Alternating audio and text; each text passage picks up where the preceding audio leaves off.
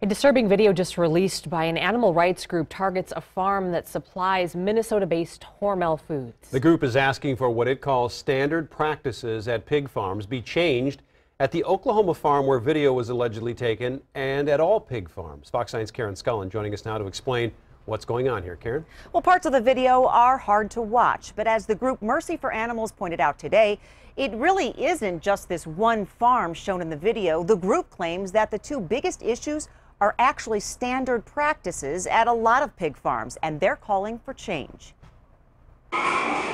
The video allegedly shows a typical pig farm. Pigs kept in gestation crates where movement is restricted. Piglets being castrated and tail docked without pain medication. Hard to watch? Maybe. Legal? Yes, the group Mercy for Animals says what's happening in this undercover video is actually standard practice. It's not a matter of identifying rotten eggs or cracking down on a rogue worker. This is a matter of standard industry practices that enable and allow blatant animal abuse. Mercy for Animals says the video was shot at an Oklahoma sow farm owned by the Maschhoffs, a pork producer that is one of the suppliers to Hormel.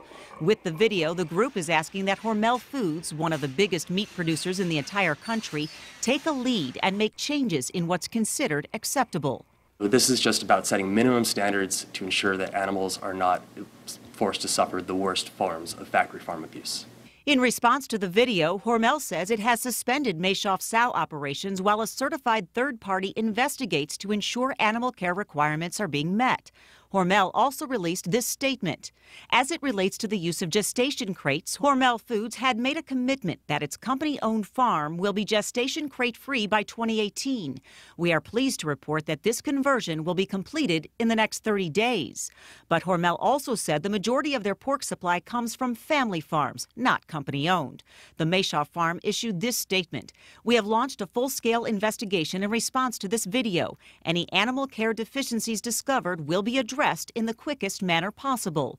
The release also said Oklahoma employees would be retrained, but if the practices are standard and accepted and legal, it's unclear what might change, if anything. The American Association of Swine Veterinarians says castration is performed to reduce aggressive behaviors and improve the taste of the pork. They are in favor, though, of the development and approval of anesthesia for this procedure.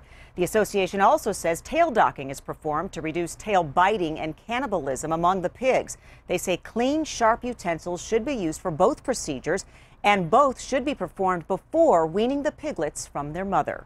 In the newsroom, Karen Scullin, Fox 9.